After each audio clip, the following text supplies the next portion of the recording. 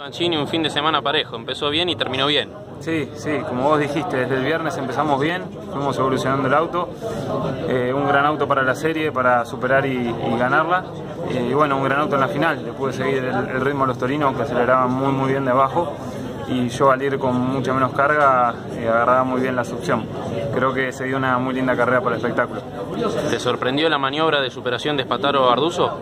No, no, no me sorprendió porque Emiliano tenía mucha más velocidad final, igual que yo, y cosa que Facundo no tenía y al final de las rectas era casi indefendible su posición.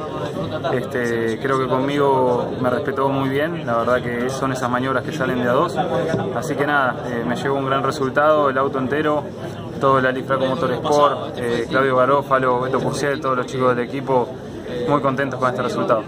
Pudiste con Arduzo, pero estuviste muy cerquita de Spataro. ¿Sobre el final creíste que, que podías dar el zarpazo? Sí, sí, totalmente. En todo momento creí que podía.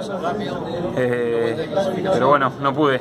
Creo que, que, Emiliano hizo la maniobra para superarlo a Facundo en el momento exacto, porque si no hubiese sido todo más enredado, él se hubiese quedado sin, sin la succión de Facundo que lo ayudaba para que yo no me acerque.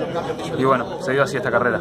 Bueno, tuvo muchas gracias por pasar por Mundo Sport y felicitaciones por el segundo lugar. Muchas gracias, un saludo para todos.